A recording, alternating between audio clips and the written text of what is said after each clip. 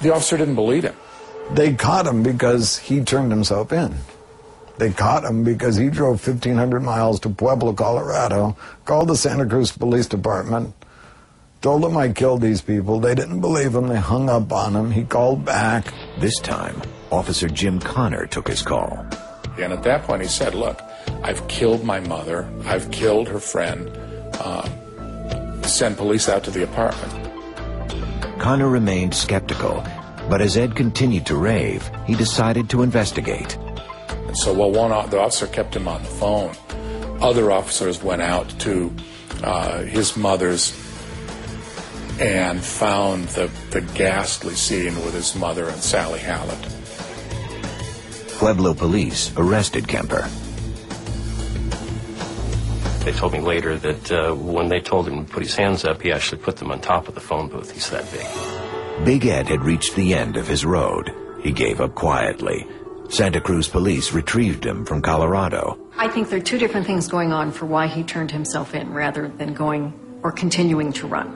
Uh, one is the very basic. I don't think he had any ability to get a job or uh, live in normal society without the help of his mother. And the second part, I believe, is notoriety. On the car ride back, Ed shocked police by confessing to butchering the co-eds.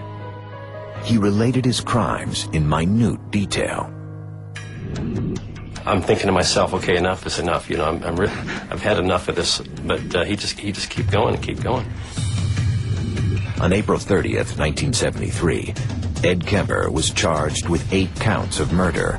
His trial lasted three weeks.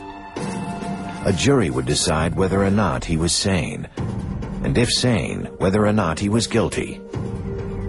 After listening to a taped confession of Kemper's coolly calculated killings, jurors declared him sane and guilty on eight counts of first-degree murder.